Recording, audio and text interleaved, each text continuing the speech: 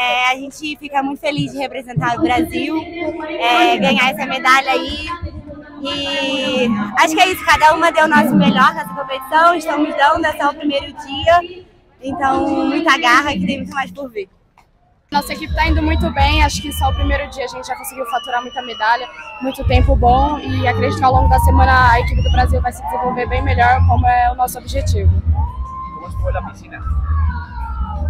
Eu gostei bastante da piscina, minha primeira vez em Cali, a piscina é bem boa, a água tá boa e é isso. Tô bem feliz de estar aqui. Mensagem para a família? Da família? Oi mãe! Torce pela gente, é, a gente está muito feliz de estar aqui. E acho que o mais importante é se divertir. Estamos fazendo isso. Parabéns.